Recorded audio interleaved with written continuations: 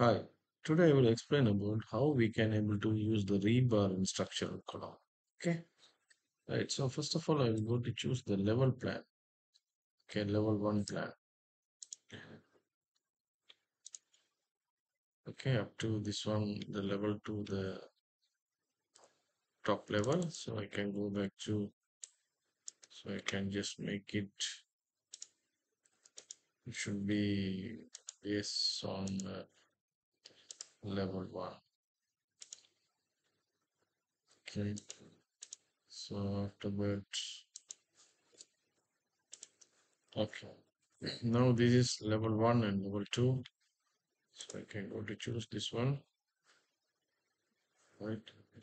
I can go back to choose my level one structural. Okay, now I can choose the rebar first. So first of all, Have to go to choose the uh, work plan and the same time I have to choose the reference and the same time I have to choose the perpendicular curve. Okay. So after that here you can able to find out the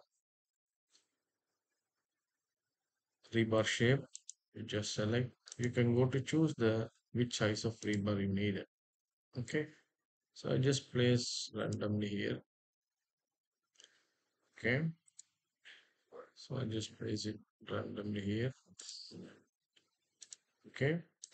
So after that, if you want, you can go to choose in the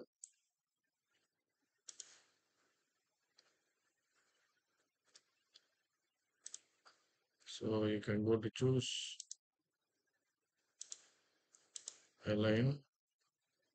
You can find out the alignment. It's easy to. Okay. And even here also, I can place the alignment. Okay. But here also I can place the right. Now I fix it for so after that again I have to select go back to rebar. Okay. Now I have to select the handle shape. So I can fix it somewhere here. Okay. Right now I already fit that bars and everything. Now I can go to choose in 3D. Okay. So I can go back to my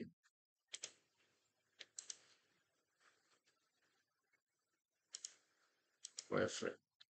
So here you can find out these things. Okay, our rebars and everything. So first of all, I have to select and I can go to choose the maximum spacing. I can put it around 150 maximum spacing. Okay, right. Now after that, I will just select this one and go to visible in view because I have four rebars and uh, these things. So I can go back to my visibility settings. I can make it view as solid. Okay.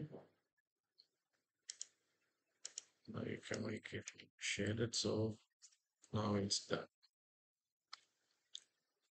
See, I created like this way.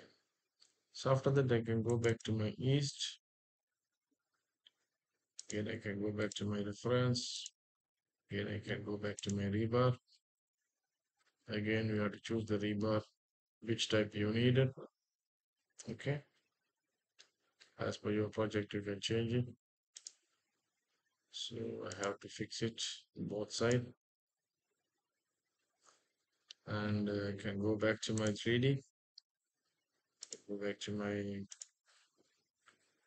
okay reference. So just select this tool, make it the fix. I'll make it 150 again. It's just a sample. So I can go back to select and uh, I can make it as a solid okay and uh, can go back to north again I have to select and go back to my rib okay. Again I have to select my rebar shape.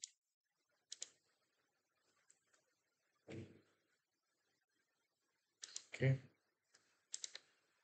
So if we want to check the rebar in the north side. Okay. Can go to the maximum space I can put it around 150 okay. Right again I have to select all. Visible and view. Can go back to visibility and make it like a solid. Now you can check it in the shaded view. So everything is done. And go back to my east again I just mm-hmm. drag it a little bit because we should be starting from ground level. Yeah. this power so I have to make it so we north can go back to my wireframe